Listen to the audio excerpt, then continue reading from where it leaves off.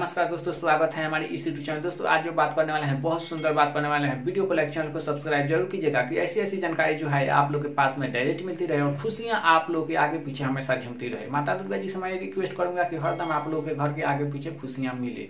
दोस्तों, बहुत सभी लोग कमेंट करते हैं कि, सर, ये बताइए कि पेट साफ़ नहीं रहता है तो उसके लिए क्या करें? दोस्तों, अगर आप लोग को पेट साफ़ नहीं रहती है और भयंकर से भयंकर लकवा फालिस की बीमारी से बचना चाहते हैं तो भिंडी की सब्ज़ी खूब खाइए। गर्मी के मौसम में। गर्मी के मौसम में अगर भिंडी की सब्ज़ी खाते हैं तो पेट साफ़ रहेगा, नया खून बनेगा और विटामिन डी भरपूर मात्रा में मिलती है। कैल्शियम भी भरपूर मात्रा में मिलता है दोस्तों।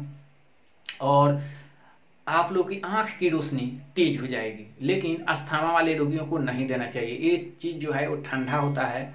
ये ज़्यादा खाने से अस्थामा वाले रोगियों को तुरंत सांस फूलने लगता है। तो इसमें ज़्यादा से ज़्यादा लहसुन की मात्रा डाल करके बनाना चाहिए, तब खाना चाहिए। नहीं तो दो चार दस हज़ार रुपया लग जाता है अस्थामा वाले रोगियों को खिलाने से। और उड़द का दाल बिल्कुल मत खिलाइएगा। दोस्तों, वीडियो देखने के लिए बहुत बहुत धन्यवाद। ऐसी वीडियो की जानकारी चाहिए तो वीडियो को लाइक, चैनल को सब्सक्राइब हमेशा करते रहिएगा कि आप लोग के घर के आगे पीछे खुशियाँ जो है हमेशा मिलती रहे। थैंक यू दोस्तों।